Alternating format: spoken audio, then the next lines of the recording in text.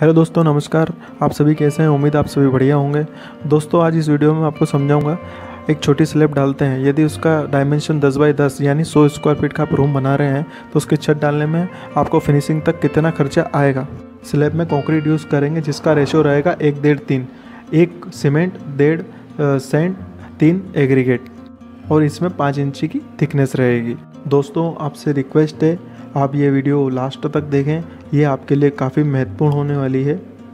सबसे पहले बात कर लेते हैं सीमेंट की, जिसके अंदर आपको नौ बैग लगने वाले हैं और पर बैग की प्राइस है तीन सौ सत्तर रुपये यानी तीन हज़ार तीन सौ तीस रुपये आपका टोटल खर्चा सीमेंट में आएगा। यदि आप वाटर प्रूफिंग और एड मिक्सचर यूज़ करते हैं, जिसमें 200 सौ एम एल पर बैग लगता है तो नौ बैग इंटू दो सौ एम एल करेंगे तो 1800 सौ एम एल आपका यूज़ होगा, जिसकी प्राइस रहेगी तीन सौ चालीस रुपये यानी टोटल अगर अपन बात करें तो तीन हज़ार छः सौ सत्तर रुपये अपने को एड मिक्सचर और सीमेंट में लगेगा।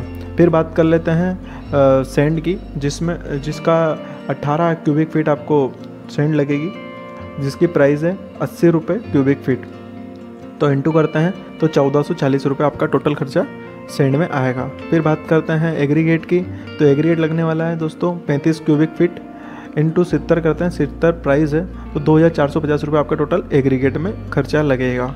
फिर बात कर लेते हैं स्टील की, जो टोटल स्टील लगेगा एक सौ लगने वाला है, जिसकी market price sixty eight rupees है।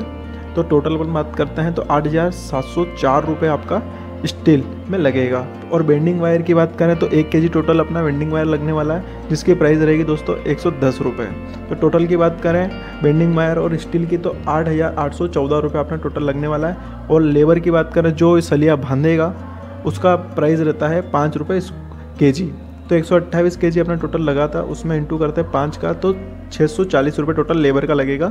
और दोनों को मिला के बात करें तो नौ हज़ार चार सौ चौपन रुपये आपका टोटल इसमें खर्चा लगेगा। फिर बात कर लेते हैं शटरिंग और लेबर की, जो शटरिंग लगाएगा और उसकी जो लेबर रहेगी, उसकी जो प्राइस है वो पर स्क्वायर फीट के अकॉर्डिंग होती है।